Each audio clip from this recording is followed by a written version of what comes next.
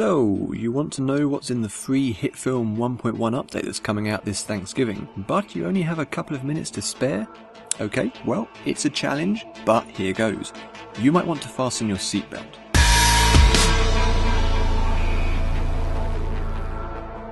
New effects in both HitFilm Standard and HitFilm Ultimate include a new digital block light flare type, auto color, auto contrast, and auto levels for quick fixes, bold for making weird under the skin effects, crush, black and white alpha and difference key for more compositing flexibility, echo, reverse and speed for temporal control, insect vision for all of you making cheesy sci-fi B movies, jitter and stutter for making things go a bit crazy, magnified motion trails, oil painting, eyes for all you fans of solarizing stuff, waves, and witness protection for using on Jimmy Wong. Also works on other people.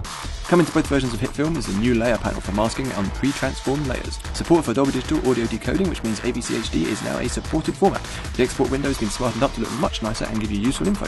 You can create and save custom workspaces for different interface layouts. The viewer can now be set to auto fit, which might not be exciting, but it's super useful.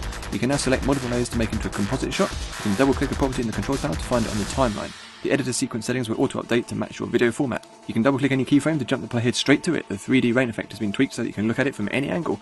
New keyboard shortcuts have been added for masking and camera movement. The point handle has been updated to be easier to see and manipulate. Editor sequence playback is greatly improved. The interface and 3D effects have been optimized for speed and responsiveness, and motion blur has been optimized and is now higher quality.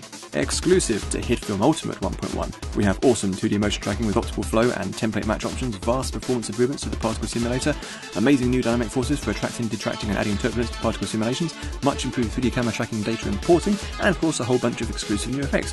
What effects are those, you ask? Well, there's Bezier Warp for curling your layers, bilateral blur for creepy smoothing out of faces, blood spray for awesome splatty gore effects, channel time shift and time displacement temporal effects, Chrominator for adding a touch of liquid metal, grain removal for moving grain, obviously, light streaks for cool anamorphic lens effects, a new gradient type with radial gradient, radio waves for generating amazing patterns and animations, TV damage for a different way to quantify your videos, and vortex displacement warp for all your black hole needs. Did we mention that the 1.1 update is absolutely, positively free to all users?